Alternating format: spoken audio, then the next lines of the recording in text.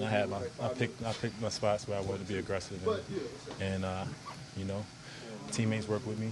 Um, Demar had to go in the first quarter. I didn't have to press a lot, so um, it was just uh, it was, it's easier when he has it going for sure.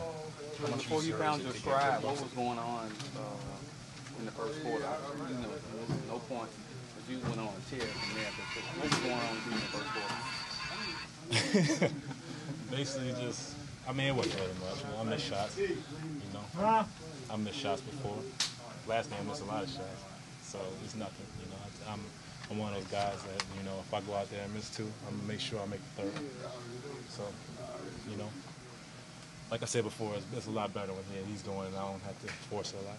You don't appear to be a guy who plays with a vengeance. Did you really want to stick it to this team tonight? I don't appear that way. That's good. That's good. It looks that way, but I always want to come back. You know, it's competitive when you play against old guys. You know, even people from high school I play against. You know, it's always competitive, and you want to win. So, you know, and even more that we need this win. We lost a tough one in, in Houston, and we came in here with a vengeance. How much easier is it to get good looks when the ball is moving the way that it was? Uh, it's just a lot easier. You know, um, our offense is, is basically dedicated to, to moving the ball, and we have to do that. When we won't do that, it's stagnant. So, you know, it's hard for me and Demar to score. So, you know, when we're moving the ball, we're a lot better team.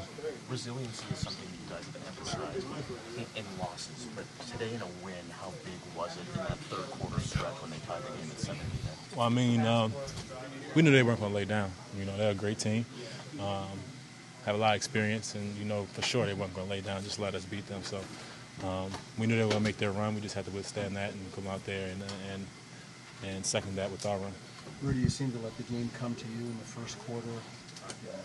The Game kind of cruising along. You weren't really, I wouldn't say too involved, but then a couple of corner threes came to you wide open. That seemed to, to get you. That's how it is. I mean, obviously my teammates look for me, so you know it's eating.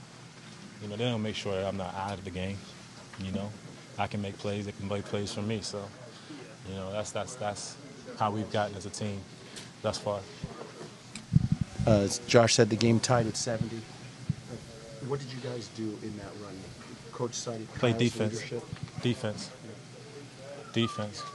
When we play defense, we're hard to beat, especially like we did tonight.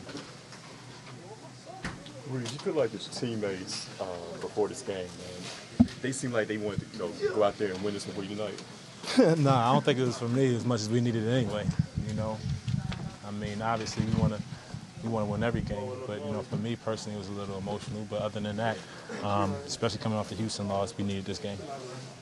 Reception how you expected it coming into the game? You know what? Honestly, I came in. I came in expecting the unexpected. So you know, when you when you come with a mindset like that, it doesn't matter what happens. Fans didn't boo you until you started. They realized you were gonna, about to have a great game. That's Did when I. that feel good? That's when I realized I don't play here anymore. really, I mean, on I mean, these these fans have been good to me for six Been in years. this locker room? Never been in here. Never been. It's my first time. It's kind of weird. You know, when I walked in, I almost walked down there to the other locker room. To be honest with you.